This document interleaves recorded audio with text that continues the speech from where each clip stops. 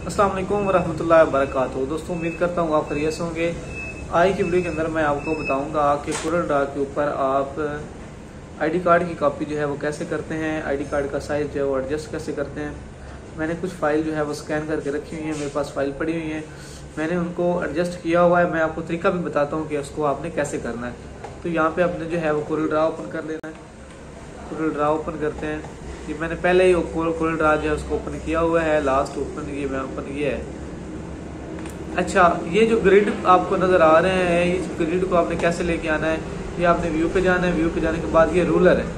Ruler के ऊपर आप अगर क्रॉस क्लिक करेंगे तो ये जो है रूलर आपके ख़त्म हो जाएँगे। अगर व्यू के ऊपर जाएँ तो दोबारा रूलर के ऊपर क्लिक करें तो ये रूलर आपके मौजूद है। आपने इसको यहाँ से पकड़ना है, यहाँ पे नीचे लेके आ जाना है। ये साइज़ एडजस्ट हो गया। अगर इसको आपने ख़त्म करना तो इसके ऊपर क्लिक करके आप डिलीट का बटन दबाएँ तो वो डिलीट हो जाएँगे। तो इसका जो ये साइज़ मैंने जो रखा हुआ है रूलर का, ये जहाँ पे जो है, ये मैंने इसको एडजस्ट किया हुआ है, ये देख लें। इसको आप इधर कर दें या इसको इधर कर दें तो ये आपका एडजस्ट हो जाएगा। तो ये आईडी कार्ड की जो साइज़ होता है वो 3.0 से 2.0 तक आईडी कार्ड का जो साइज़ होता है वो होता है। तो मैं यहाँ पे एक फ़ाइल को है वो यहाँ पे ड्रैग करके लेके आता हूँ। ड्रैग आपने कैसे करनी है, फ़र्ज़ करें। आपके पास यही एक फ़ाइल है। फ़ाइल को ड्रैग करके मैं यहाँ पे लेके आया हूँ। इसका जो साइज़ है, इसको मैं यहाँ से कम कर देता हूँ। ये साइज़ कम करने के बाद आप इसको पकड़ना है। इसके अंदर आपने इसको एडजस्ट कर लेना है। यहाँ पे आपने यहाँ पे जाना है। मैं इसको थोड़ा जूम करता हूँ।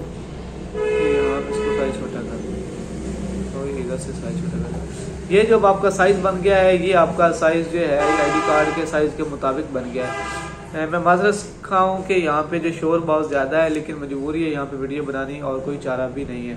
तो आपने इसको यहाँ से पकड़ना है। यहाँ से पकड़ने के बाद आपने पकड़ा हुआ है तो आपने यहाँ पे छोड़ना। तब है जब आपने लेफ़्ट क्लिक जो प्रेस करनी है तो ये इसकी एक कापी बन जाएगी। आप इसको यहाँ पे इसका साइज़ छोटा कर लें, क्योंकि वो साइज़ के मुताबिक मौजूद है।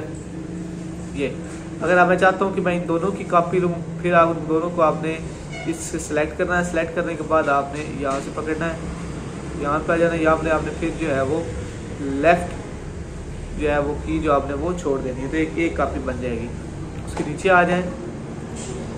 इसको चारों को आप सेलेक्ट करें।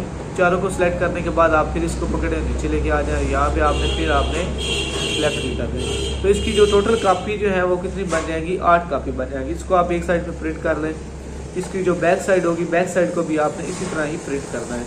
तो दोस्तों, उम्मीद करता हूँ आपको ये वीडियो पसंद आई होगी। दो में याद रखिएगा। अल्लाह